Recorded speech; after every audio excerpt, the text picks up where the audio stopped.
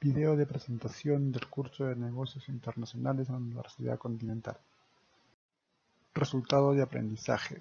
Al finalizar la asignatura, el estudiante será capaz de diseñar estrategias en el campo de los negocios internacionales para la sostenibilidad de las organizaciones empresariales. Temas. Los contenidos que la asignatura desarrolla son los siguientes. Globalización y negocios internacionales.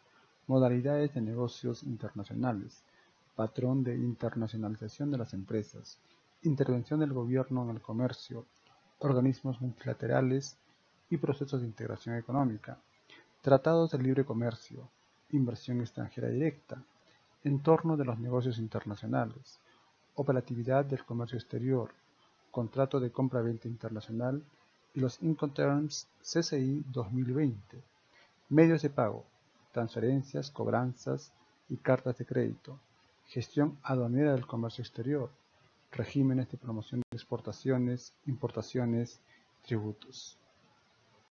Sistemas de evaluación.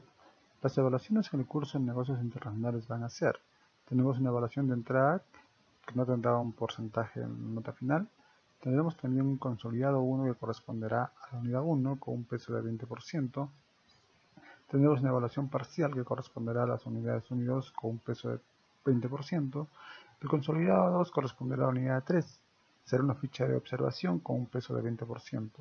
Finalmente tendremos una evaluación final que comprenderá todas las unidades, es una rúbrica de evaluación, el peso sí acá es de 40%.